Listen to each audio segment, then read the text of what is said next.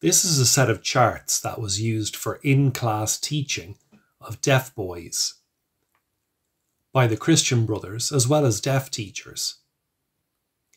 Each time the charts were used, the teacher or brother would hang a different chart on the hook at the front of this case and then use them to teach the boys.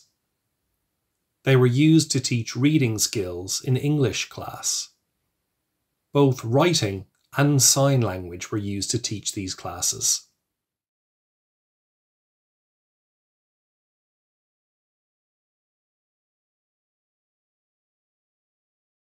You see the picture here? It's a picture of a sign. Now, at the time, the oral method wasn't used in St. Joseph's. The sign pictured means between. Each picture in the same row as the sign was used to teach the meaning of the word. So in the first picture, we see three people. The sentence then is, The boy is between his mother and father. In the next picture, the little girl is between the trees.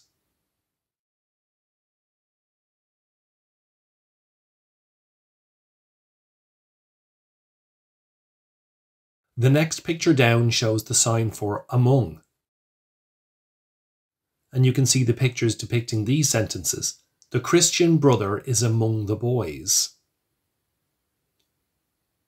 The next one says, The shepherd is among the sheep.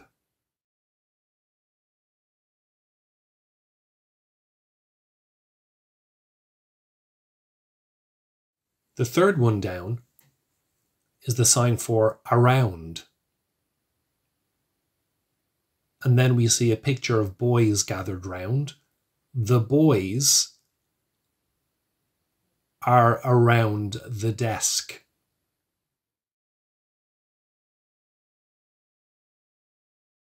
Then a lovely picture of a garden with hedges all around it. There is a nice walk around the garden. Fruit trees are growing along the walls. The walls are around the garden walls protect gardens.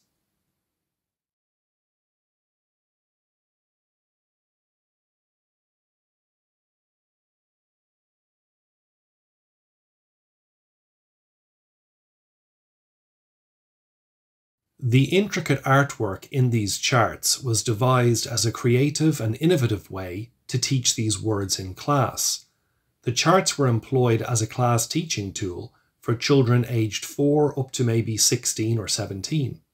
These glass display cases were used to hold, display, and protect the valuable canvas charts from damage from moths.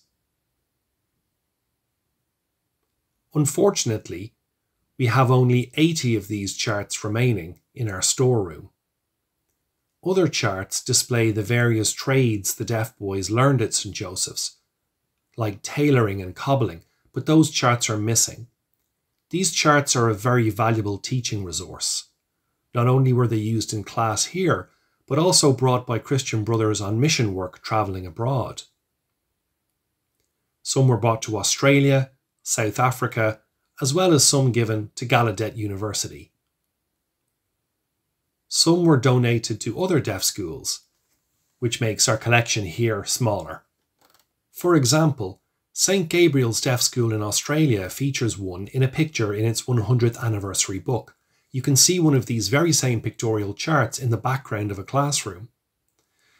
The missing charts such as this depict very different scenes to the charts we keep here. They're fascinating.